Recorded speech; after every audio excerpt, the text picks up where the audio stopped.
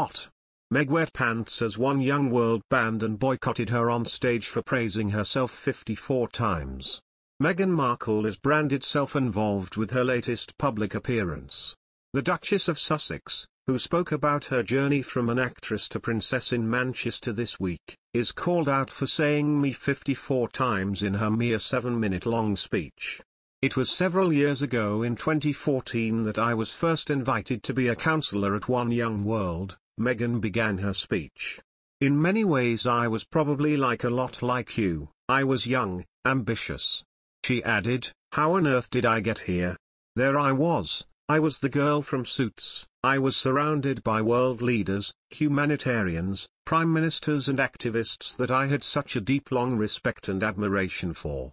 And I was invited to pull up a seat at the table. Commenting upon Meghan's speech, royal expert Ingrid Seward dubbed her words nonsense. She said, I can't visualize or comprehend how the 2,000 young people understood a word of what she was talking about. It made no sense. It was all about her and related everything to herself. I don't think she knew what she was talking about. It was just me, me, me and praising herself, she concluded.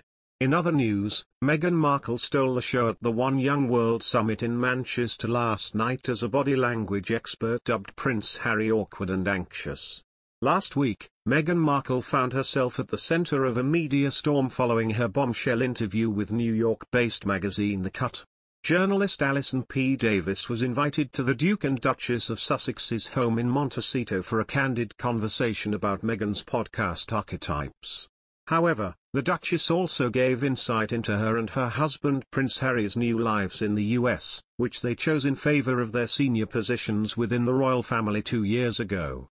Ms. Davis began her story, the conditions are right for confession, going on to describe the sunny day in California on which she and Meghan sat down for the exclusive interview.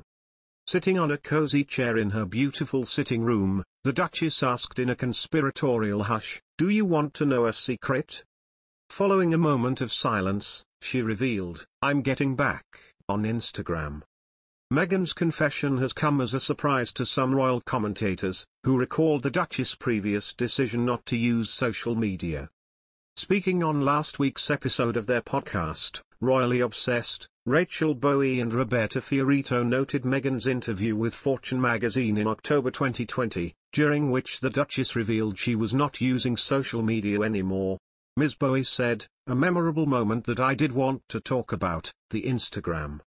To have that be in the opening paragraph, that Meghan might be back on Instagram, totally stunned me. Ms. Fiorito added, I didn't like that she then backtracked it though. That made me upset. The pair questioned whether the Duchess' social media return is really happening, with Ms. Fiorito recalling, she did say in Fortune magazine that she was never going to return to social media and there were a lot of reasons why, so it felt like she was trolling. In her story, Ms. Davis admitted Meghan's confession could have been a troll. She explained, delivering a nothing with such gravitas feels as if Meghan, who has been so trolled by the media, is serving it back, just a little. However, the journalist added, but, as I quickly realize, it is actually news. Later in the interview, Meghan said she was no longer sure she wanted to return to the social platform, backtracking on her early confession. When Meghan and Harry got engaged back in November 2017, the former Hollywood actress had to relinquish control of her personal Instagram account, on which she had managed to amass 3 million followers. Before her relationship with the prince, Meghan was a prolific social media user and even had her own lifestyle blog, The Tig, in which she shared insight into her life with her readers.